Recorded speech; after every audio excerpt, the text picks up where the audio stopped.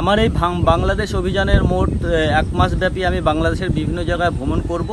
আর এই ভ্রমণের মধ্যে আমার যে রুট ছিল আমার যে শিডিউল ছিল সেই রুটিনে বঙ্গবন্ধুর সমাধিক্ষেত্রটা সবার আগে ওপরে লেখা ছিল এবং আমি আজকে এখানে এসেছি এবং যে ইচ্ছাটা আমার মনের মধ্যে ছিল সেই ইচ্ছাটা আমার পূরণ হয়েছে। আর আমি এই জায়গায় আসার জন্য আমি যেখান থেকে এসেছি সেটা হচ্ছে ভারতবর্ষের পশ্চিমবঙ্গ নামে একটি রাজ্য আছে যেখানের নব্বই শতাংশ মানুষ বাঙালি।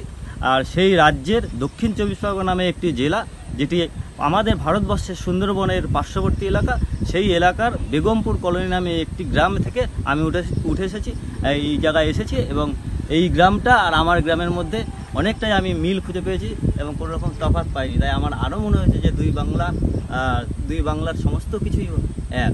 শুধু আমাদের মাঝখানে কাটাতার আর আমাদের বর্ডার আছে। কোথাও হোল্ড করতে হবে হুম। বর্তমানে আমি এই মুহূর্তে টুঙ্গিপাড়ায় এসে উপস্থিত হয়েছি।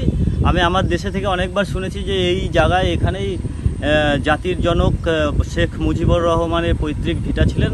উনি হয়তো কিছুক্ষণ আগেই এক দাদা আমাকে বলছিলেন যে এই এলাকায় নাকি একসময় উনি ঘুরে বেড়াতেন বা হেঁটে বেড়াতেন।